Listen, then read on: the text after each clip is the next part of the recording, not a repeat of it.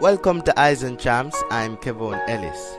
This week we'll travel to the cool hills of Mocho in Clarendon at Lennon High as we feature one of the finest athletes in the institution. A shot put thrower, a bronze medalist at the Boys and Girls Championship, and many time medalist at the Central Championship. This week we'll feature Orega Welch. Orega, growing up as a youngster, your first love was football. How did you got introduced to track and field? It's it was a sports day. Yeah. I see this thing. I think it was a discus, but I didn't realize name due to how I didn't understand about throwing. Yeah. So I went I went to the throwing area and the teacher asked me asked me if I wanted to throw. Yeah. And I said yes.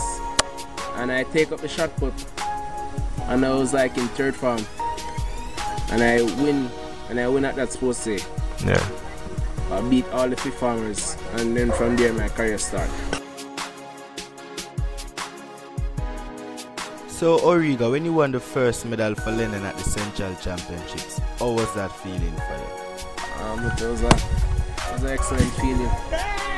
Coming out of my hard work has been final showing success in the school. It's, it's like a timetable. I have a timetable that I that I use.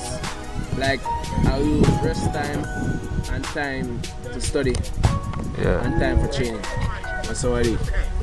So, Orega, what's the training been for you so far this season? Um, it has been very challenging, especially to balance the book work and the training.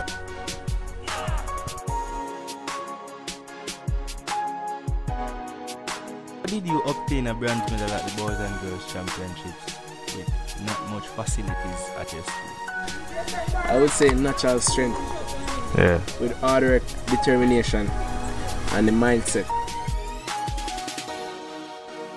Where does your inspirations come from? My parents, my peers, and even my coach.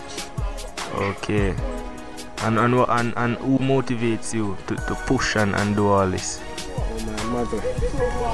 So, Orega, what's the aim for the 2013 season? As I said before, I'll just continue training, on, training hard Yeah. and I'll see what come at my first rap meet.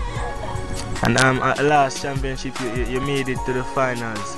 How, how far do you think you can make it this time being at least you're now in second year class one? I think I can make it. I can make the medal. So. Orega Welch, Yeah. looking looking better than ever before, Yeah. and actually, he's now he's, he's- he's now right where I want him to be. Everyone knows in throwing on the day counts. It's my hard work will throw on that day. That's so God said it. Until next time on Eyes on Champs, I'm Kevaughn Ellis. Good evening.